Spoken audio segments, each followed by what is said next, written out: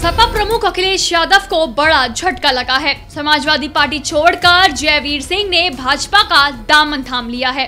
लोकसभा चुनाव से पहले सपा प्रमुख अखिलेश यादव को एक बड़ा झटका लगा। समाजवादी पार्टी छोड़कर भाजपा में गए जयवीर सिंह पर सपा ने दो बार जिला अध्यक्ष का दांव खेला। लेकिन दोनों ही बार जयवीर सिंह सपा को धोखा दे गए। इस बार जयवीर सिंह ने बीजेपी का दामन थाम लिया है। जिला पंचायत सदस्य के साथ ही जिला सरकारी बैंक चेयरमैन रहे जयवीर सिंह ने साल 2009 से 2017 तक 9 सालों तक सपा के जिला अध्यक्ष पद पर रहकर पार्टी के सबसे लंबे समय तक जिला अध्यक्ष का रिकॉर्ड भी बनाया था।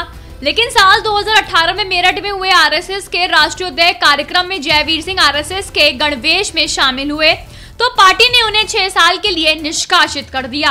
हालाँकि कुछ दिन बाद ही पार्टी में फिर वह शामिल हो गए थे।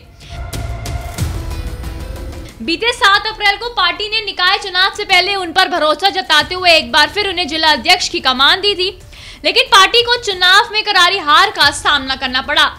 उनके जिला अध्यक्ष बनाए जाने से सपाई नाराज़ थे और सपा प्रमुख अखिलेश यादव के रोड शो से पहले मुस्लिम क्षेत्र में जयवीर सिंह के गणवेश वाले फ़ोटो के साथ पोस्टर भी लाकर उनका विरोध किया गया था। चुनाव में बड़ी हार के बाद से ही सपाई उन्हें हटाने में लगे थे और एक खेमा इनमें कामयाब भी हो गया था। लेकिन पत्र जारी होने से पहले ही जयवीर सिंह ने भाजपा का पटका पहन लिया।